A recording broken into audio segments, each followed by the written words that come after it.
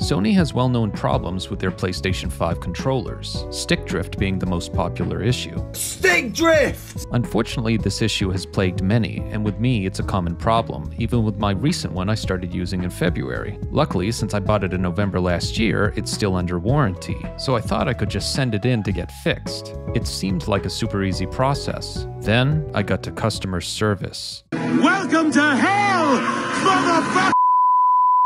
Though I will get to what Sony's scam actually is, I first need to talk about their customer service and how bad it is because it does tie into my theory. I went from chat to chat, going through various PlayStation experts and multiple phone calls. I had an issue. With just a few months of use, the gray text on the back of my Cosmic Red controller is barely readable, so I could not read the serial number on it, and my box was long gone. I was looking for a way to get around this issue until finally I had my answer. There is no solution. Customer service said I cannot send it in for repair without my serial number. I said surely this cannot be correct as I have proof of purchase and it's under warranty. There must be some other process or information they can take. Yet there is nothing Sony could do. After a full day of customer service interaction, I got nowhere.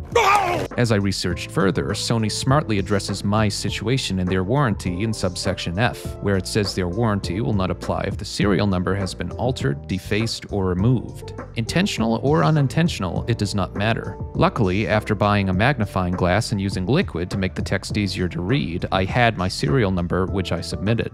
All I had to do now was fill out this contact info page, but then I encountered an error saying, oops, your location doesn't allow us to proceed with the request. And then it prompted me to select the correct region, as what I put in for the info is apparently being detected as a region not in the United States. The problem persisted no matter what I tried, and after going through customer service for half a day, they were finally able to manually input everything.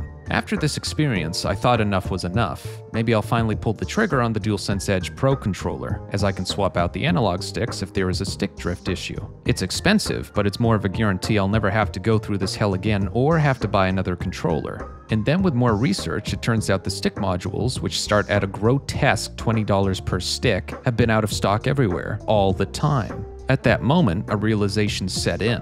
Sony is allegedly running the greatest scam ever. Sony has constructed a controller where a person cannot easily get to the analog sticks, arguably the greatest point of failure in a controller. Even after getting to the sticks, to replace or fix them would be even more difficult and risky. Doing this also voids the warranty if it's still under it. If you cannot fix the sticks yourself, then it leaves you with two options get a new controller or have Sony fix it. If it's out of warranty, having Sony fix it is way too expensive, so realistically, getting a new controller is what you would do. If it is under warranty, like mine, Sony has seemingly gone out of their way to make it as hard as possible to successfully submit a warranty claim. They do not fix common errors on their customer service site, which were problems years ago, and they have you go in circles even with correct information.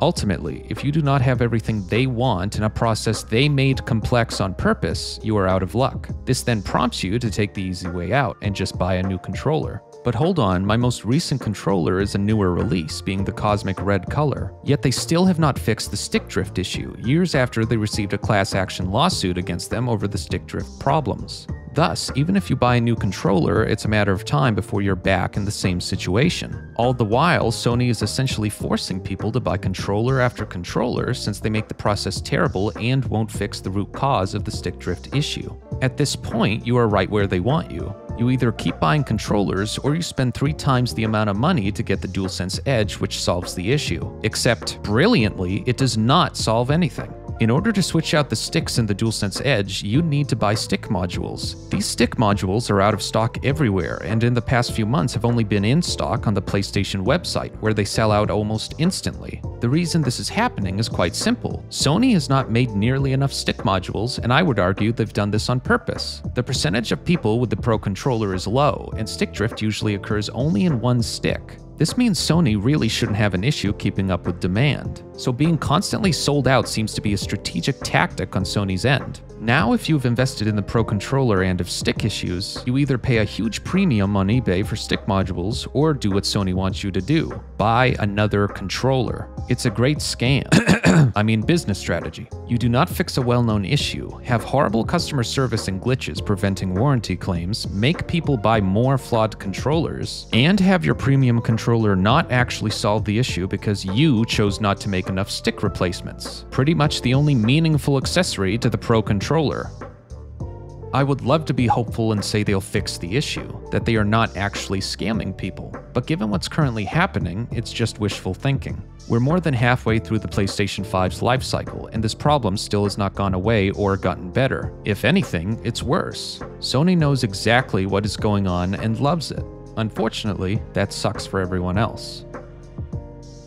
Thank you for watching, and I'll see you all in the next video.